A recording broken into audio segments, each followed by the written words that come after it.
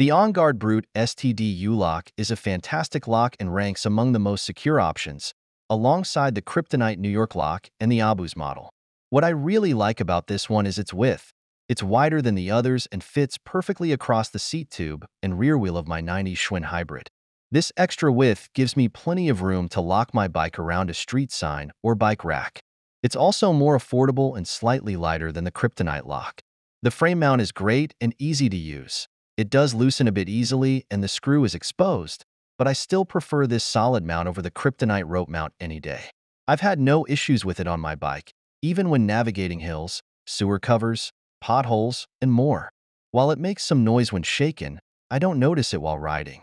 On the downside, the parts don't feel as well made as those on the Kryptonite lock, and you can tell when using the lock or key. The manufacturer suggests applying some WD-40 before use. This hasn't been a problem so far, and I don't expect it to be, but the lock isn't as polished as the Kryptonite option. The rubber coating on the outside shows that too.